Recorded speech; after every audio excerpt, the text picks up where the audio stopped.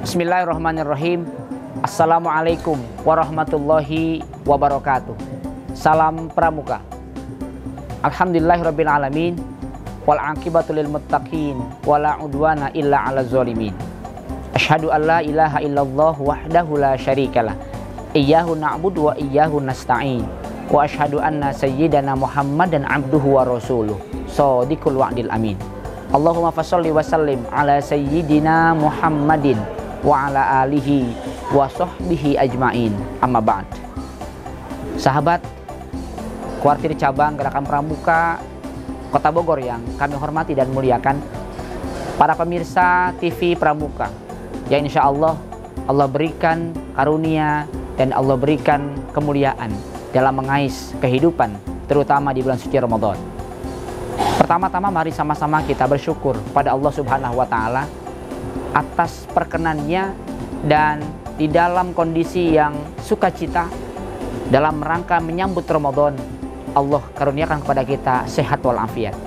Yang mudah-mudahan dengan nikmat sehat ini insya Allah segala bentuk amaliyah kita, ubudiyah kita di mata Allah Subhanahu wa taala menjadi bagian terpenting dalam rangka mendapatkan ridho darinya.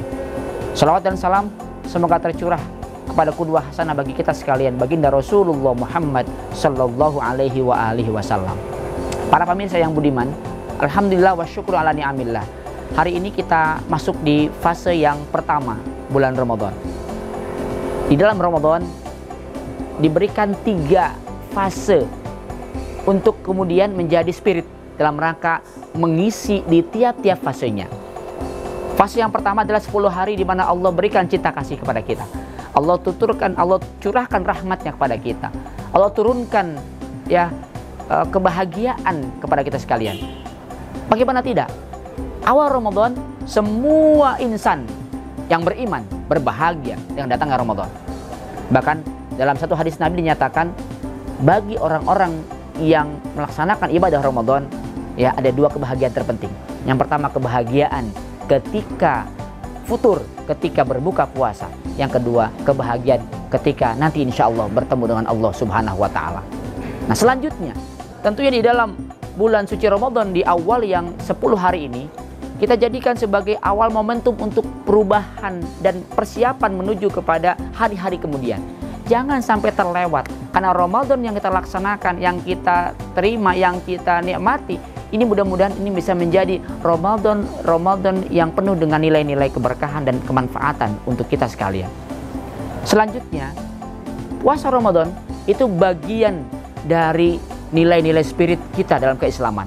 Karena puasa Ramadan adalah termasuk uh, unsur yang terpenting dalam menegakkan rukun Islam yang kita sama-sama uh, anut dan insya Allah ini bisa menjadi salah satu upaya kita menjadi pribadi-pribadi yang muslim kafah, muslim yang seutuhnya. Kenapa demikian?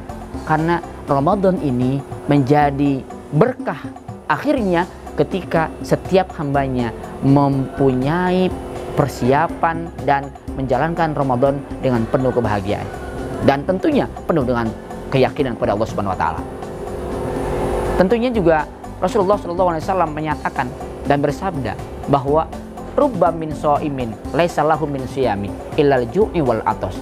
Berapa banyak di antara kita yang melaksanakan Ramadan tapi tidak bisa mendapatkan manfaat Ramadan. Kenapa demikian?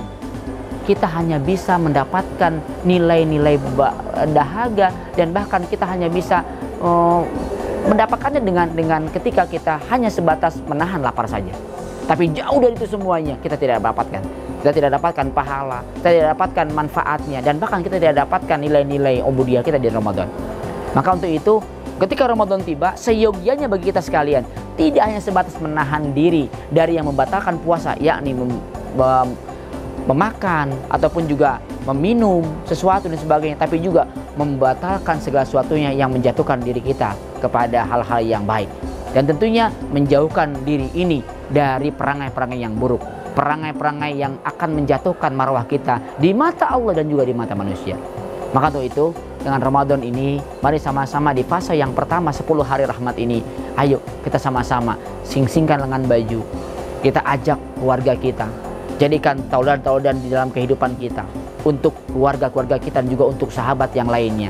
Karena kemudian insya Allah rahmat yang Allah curahkan kepada kita insya Allah bisa kita terima dengan baik. Itu, itu jamaah sekalian, para pemirsa yang budiman.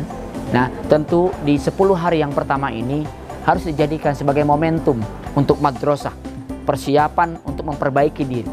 Dan mudah-mudahan dalam kehidupan yang kelak kita kita termasuk golongan umatnya dan hamba Allah Subhanahu wa taala yang mendapatkan predikat yang bertakwa.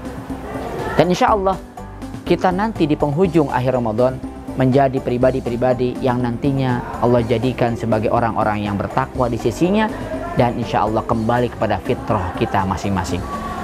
Mudah-mudahan ini bisa menjadi spirit dalam kehidupan kita dan memberikan arti yang penting dalam kehidupan kita di masa mendatang serta Ramadan tidak kita sia-siakan dan kita ais kehidupan dengan lebih baik lagi. Terima kasih. Hadirin Allah wa iyyakum ajmain. Semoga Allah senantiasa berkahi kita, lindungi kita. Allah terima puasa kita, Allah terima sholat kita, dan Allah terima ibadah dan ubudiyah kita dalam rangka Ramadan. Hadirin Allah wa iyyakum ajmain. Assalamualaikum warahmatullahi wabarakatuh.